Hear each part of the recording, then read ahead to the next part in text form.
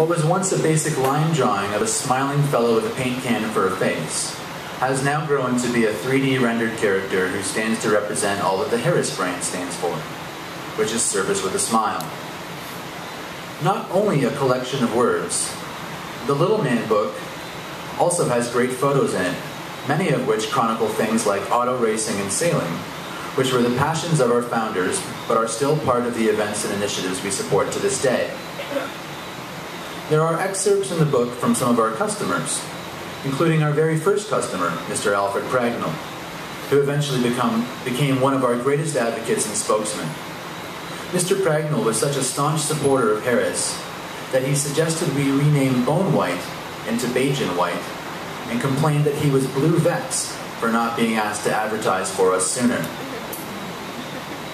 Tracy Johnson, who was the principal researcher and writer of the Harris Paint story, also found very a, wide range of many amusing anecdotes from our staff. For example, Wendy Del, Del Castillo told her of how Mr. Johnson used to have very long telephone conversations in which he would lean back in his chair and lay float. The staff soon determined that the best way to tell that he was through a call and ready for the next one was to wait and listen for his chair to squeak, which was to signal that he was back upright and therefore off the phone. I do know then that there'll always be a need for a company that can produce world-class coatings embellished with a unique local touch that comes from being part of the fabric of the Caribbean.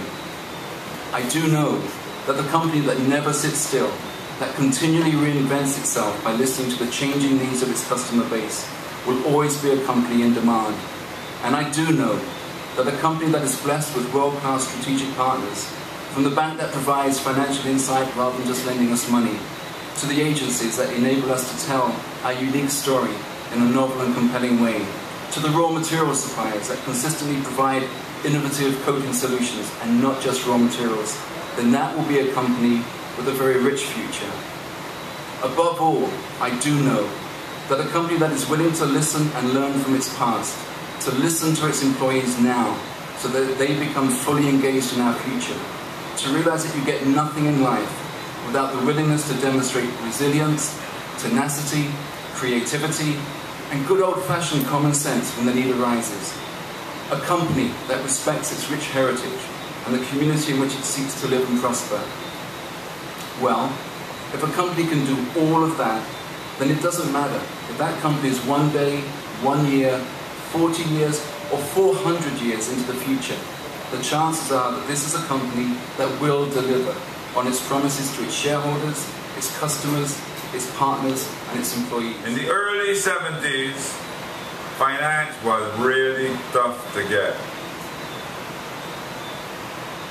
When I hear fellas talking about the finance today, they don't have a clue of what it was like 30 years or 40 years ago.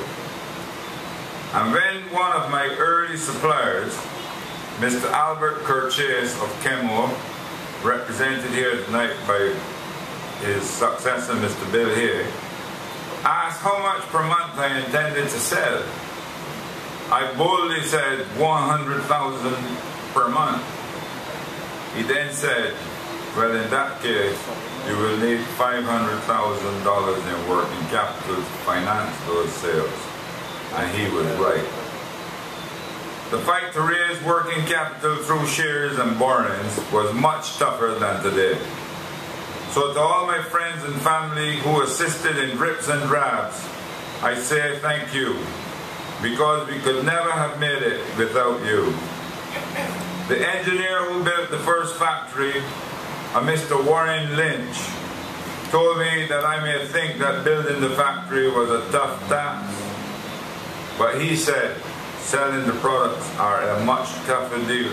And he was right. The little man, of course, in 1970 is not so little anymore. Uh, Harris Paints is now manufactured in four different countries, namely Jamaica, Guyana, St. Lucia, and Dominica.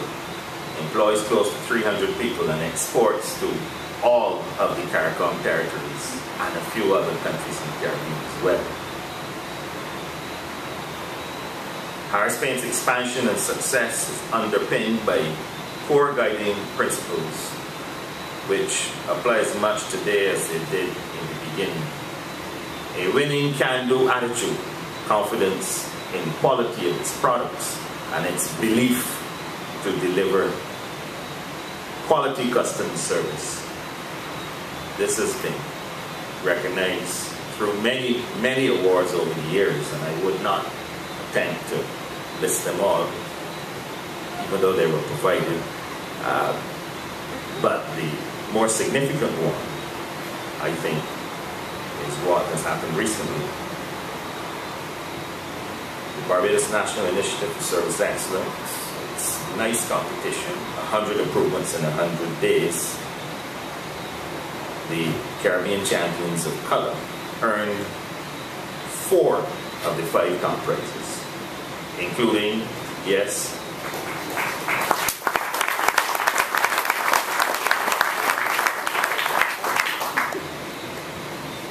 the Prime Minister's Award,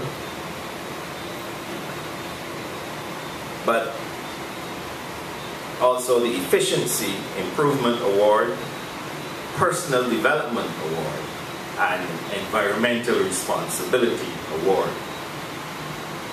I congratulate you on these achievements, not merely because they are four awards, but because of the cross-section of those awards efficiency and personal development and environmental responsibility shows that this is a company that is not only looking at reducing the red on the financial statement and increasing the black. It's not only about profit, but embedded in the operations of the very company is a sense of corporate social responsibility.